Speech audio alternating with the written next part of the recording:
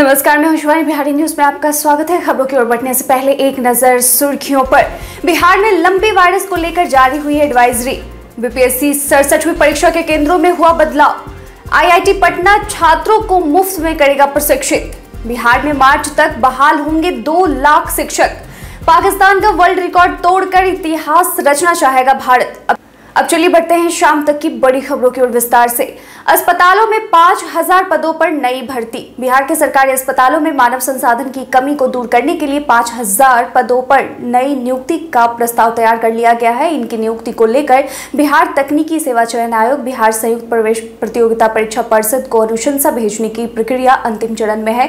बता दें कि राज्य में तत्काल एक हज़ार पाँच सौ ग्यारह सीनियर रेजिडेंट और एक हज़ार एक सौ चालीस जूनियर रेजिडेंट की नियुक्ति होगी। स्वास्थ्य विभाग के अधिकारियों के अनुसार डॉक्टरों की नियुक्ति के साथ ही करीब 2000 पारा मेडिकल कर्मियों की भी स्थायी नियुक्ति की जाएगी।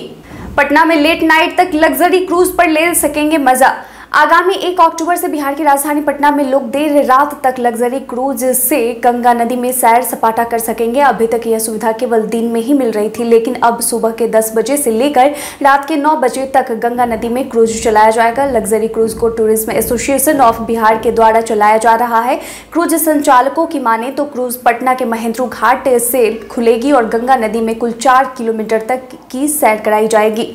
बिहार में लंपी वायरस को लेकर जारी हुई एडवाइजरी सरकार पशुओं में फैल रहे त्वचा रोग, लंपी वायरस को लेकर सतर्क हो गई है पशुपालन विभाग ने। अधिकारियों व पशु चिकित्सकों को सतर्कता व विशेष सावधानी बरतने के निर्देश दिए हैं। संक्रमित संक्रमित गौवंशीय और महिषवंशीय पशुओं के इलाज के लिए समन्वय स्थापित करते हुए तमाम इंतज़ाम सुनिश्चित करने की एडवाइजरी भी जारी की गई है।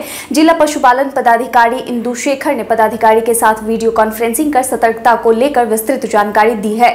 बिहार में वज्रपात से छह लोगों की गई जान। बिहार के विभिन्न जिलों में बीते शनिवार को वज्रपात की चपेट में आने से छह लोगों की जान चली गई है। इस दौरान कई लोग जख्मी हो गए हैं। मरने वालों में गोपालगंज के दो, खगड़िया, वैशाली, समस्तीपुर और मुजफ्फरपुर के एक एक लोग शामिल हैं। गोपालगंज में वज्रपात की चपेट में आने से एनएचएआई के चालक समेत दो लोगों की मौत हो गई है। इसे देखते हुए बिहार के मुख्यमंत्री नीतीश कुमार ने दुख जताया है। उन्होंने कहा कि राज्य के चार जिलों में वज्रपात से चार लोगों की मृत्यु दुखद है। मृतकों के आश्रितों को तत्काल चार चार लाख रुपए अनुग्रह अनुदान राशि दिया जाएगा। खराब मौसम में पूरी सतर्कता बरते। वज्रपात से बचाव हेतु आपदा प्रबंधन विभाग द्वारा जारी सुझाव का अनुपालन करें। खराब मौसम में घरों में रहें, सुरक्षित रहें।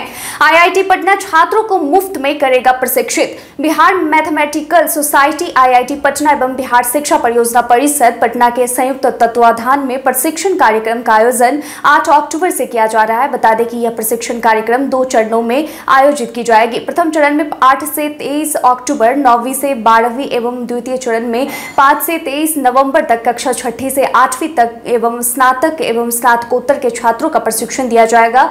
इसमें नौवीं से बारह के लिए तीन छात्र एवं कक्षा छह से आठ के लिए दो सौ ग्यारह छात्रों के अतिरिक्त स्नातक एवं स्नातकोत्तर स्तर के अड़तालीस छात्रों का प्रशिक्षण दिया जाएगा।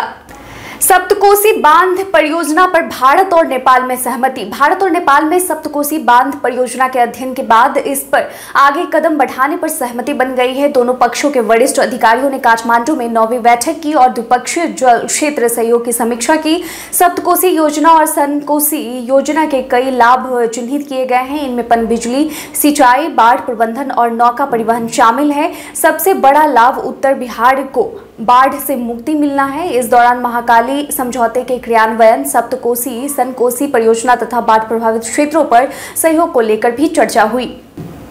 बीपीएससी सड़सठवीं परीक्षा के केंद्रों में हुआ बदलाव। बीपीएससी सड़सठवीं संयुक्त सिविल सेवा प्रारंभिक परीक्षा का आयोजन 30 सितंबर दो हज़ार बाईस को किया जाना है। इसके लिए एडमिट कार्ड जारी कर दिया गया है। हालाँकि परीक्षा के आयोजन के पहले कई परीक्षा केंद्रों में बदलाव किया गया है। यह बदलाव छह जिलों के सात परीक्षा केंद्रों में किए गए हैं। ऐसे में अभ्यर्थियों को सलाह दी जाती है कि परीक्षा के पहले परीक्षा केंद्र के बारे में पूरी जानकारी प्राप्त कर लें और आयोग की आधिकारिक वेबसाइट से नया एडमिट कार्ड डाउनलोड कर ले। बता दें कि परीक्षा का आयोजन दोपहर बारह बजे से दो बजे तक किया जाना है।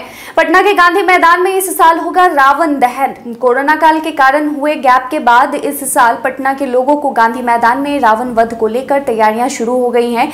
पटना में आयोजित होने वाले रावण वध कार्यक्रम के मद्देनजर पटना आयुक्त कुमार रवि गांधी मैदान पहुँचे और गांधी मैदान का निरीक्षण किया। रावण दहन के दौरान गांधी मैदान के चारों ओर चौतीस प्रकाश मीनारों में 136 प्रकाश स्तंभों के द्वारा प्रकाश की अच्छी व्यवस्था रहेगी। इसके साथ ही साथ गांधी मैदान को समतल करने का निर्देश दिया गया है ताकि किसी को चलने में परेशानी न हो। सुरक्षा के दृष्टिकोण से गांधी मैदान में सीसीटीवी कैमरे लगाए जाएँगे। एक कोविड नाइन्टीन के संक्रमण के मद्देनजर बिहार सरकार के गृह विभाग के निर्देशों के अनुरूप कोविड प्रोटोकॉल सुनिश्चित किया जाएगा।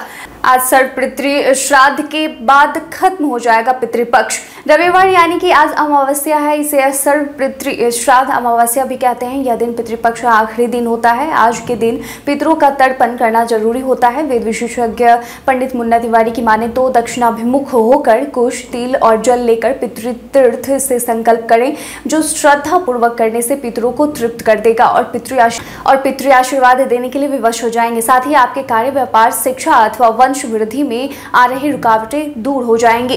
बिहार में मार्च तक बहाल होंगे दो लाख शिक्षक। बिहार में मुख्यमंत्री नीतीश कुमार द्वारा दस लाख युवाओं को नौकरी और दस लाख युवाओं को रोज़गार देने के वादे पर मुख्यमंत्री के निर्देश पर शिक्षा विभाग ने नवंबर में दो लाख दो सौ संतावन शिक्षकों की नियुक्ति प्रक्रिया प्रारंभ करने की सारी तैयारियाँ पूरी कर ली हैं। इसमें प्रारंभिक शिक्षकों के अस्सी हज़ार दो सौ संतावन और माध्यमिक एवं उच्च माध्यमिक शिक्षकों के एक लाख बीस हज़ार पद शामिल हैं। बता दें कि पंद्रह नवंबर तक शिक्षक नियोजन की अधिसूचना प्रस्तावित की गई है। बिहार के 24 जिलों में वज्रपात को लेकर येलो अलर्ट। बिहार के 24 जिलों के लिए मौसम विभाग ने बारिश और वज्रपात को लेकर येलो अलर्ट जारी किया है। पिछले 24 घंटे में ठनका गिरने से राज्य के अलग अलग हिस्सों में कुल चार लोगों की जान जा चुकी है। मौसम विभाग के द्वारा बिहार के चौबीस जिलों के लिए येलो अलर्ट जारी किया गया है, जिसमें पटना, किशनगंज, अररिया, कटिहार, मधेपुरा, पूर्णिया, सहरसा, सुपौल, दरभंगा, मधुबनी, समस्तीपुर, वैशाली, मुजफ्फरपुर, शिवहर, सीतामढ़ी, पूर्वी चंपारण, पश्चिमी चंपारण, सारण, सिवान, गोपालगंज, लखीसराय भागलपुर, जमुई और मुंगेर जिला शामिल है। आरजेडी राष्ट्रीय अध्यक्ष चुनाव का नोटिफिकेशन हुआ जारी। राष्ट्रीय जनता दल के अध्यक्ष चुनाव का नोटिफिकेशन जारी हो गया। है मौजूदा आरजेडी सुप्रीमो लालू प्रसाद यादव 28 सितंबर को राष्ट्रीय अध्यक्ष के पद के लिए अपना नामांकन करेंगे। इसी दिन से राष्ट्रीय अध्यक्ष एवं राष्ट्रीय कार्यकारिणी के सदस्य पद के लिए नामांकन की प्रक्रिया शुरू हो जाएगी। 28 सितंबर को ही शाम पाँच बजे वैध पाए गए उम्मीदवारों की सूची जारी कर दी जाएगी। बता दें कि 10 अक्टूबर को नई दिल्ली के तालकटोरा स्टेडियम में राष्ट्रीय परिषद की बैठक में राष्ट्रीय अध्यक्ष और राष्ट्रीय कार्यकारिणी के सदस्यों का चुनाव होगा। नवनिर्वाचित राष्ट्रीय अध्यक्ष को प्रमाण पत्र दिया जाएगा और साथ ही लालू प्रसाद यादव के राष्ट्रीय अध्यक्ष बनने की विधिवत घोषणा की जाएगी। पशुपति पारस का तंज, बहुत लोग पीएम बनने की कतार में। बिहार के वैशाली पहुँचे केंद्रीय मंत्री पशुपति पारस ने बिहार के मुख्यमंत्री नीतीश कुमार सहित पूरे विपक्ष पर निशाना साधा है। उन्होंने कहा कि राहुल गांधी, ममता बनर्जी, अरविंद केजरीवाल, शरद पवार व नीतीश कुमार सहित बहुत लोग लाइन में हैं।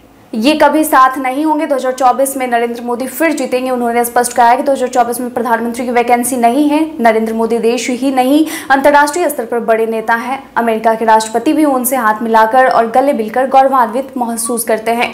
पाकिस्तान का वर्ल्ड रिकॉर्ड तोड़कर इतिहास रचना चाहेगा भारत। भारत और ऑस्ट्रेलिया के बीच तीन मैच की टी सीरीज़ का आखिरी और निर्णायक मुकाबला आज हैदराबाद के राजीव गांधी इंटरनेशनल स्टेडियम में खेला जाना है। इस मैच में रोहित एंड कंपनी इस मैच में रोहित एंड कंपनी की नज़रें, पाकिस्तान का वर्ल्ड रिकॉर्ड तोड़ने पर होगी अगर आज टीम इंडिया ऑस्ट्रेलिया को धूल चटाने में सफल रहती है तो वह इतिहास रच देगी। टी ट्वेंटी क्रिकेट में एक साल में सबसे अधिक मैच जीतने का रिकॉर्ड पाकिस्तान के नाम है। अगर आज भारत ऑस्ट्रेलिया को मात देने में सफलता हासिल करती है तो वह इतिहास रच देगी।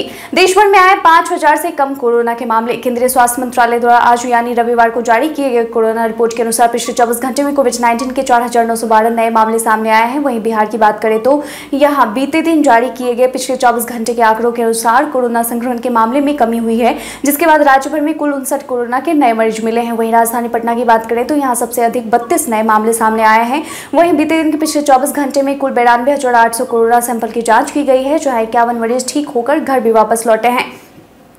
बीते दिन हमारे द्वारा पूछे गए सवाल का आप लोगों में से बहुत लोगों ने अपना जवाब में कमेंट सेक्शन में लिख कर दिया था, जिन्होंने पूछे गए सवाल का जवाब दिया उनके नाम है भान प्रकाश मौर्य, राकेश शर्मा मुट्टू रंगीला नुन्नू Kumar, Rajkumar Prasad K K Sinha, Beauty Kumari, Rajiv Kumar Paswan, Babulal Marandi, Sanjay Mishra Sharma Anjani Kumar, Kavita Kumari, Pawan Singh, Arjun Ram, Ranjit Kumar और रंजीत मिश्रा। इसके साथ ही बढ़ते हैं आज के सवाल की ओर। आज का सवाल है कि आपके क्षेत्र में सबसे अच्छा दुर्गा माता का पंडाल कहाँ लगता है? अपना जवाब में कॉमेंट सेक्शन में लिख ज़रूर बताएँ। आज के लिए बस इतना ही। बिहार की तमाम खबर के साथ बने रहने के लिए देखते रहें बिहारी न्यूज़। धन्यवाद।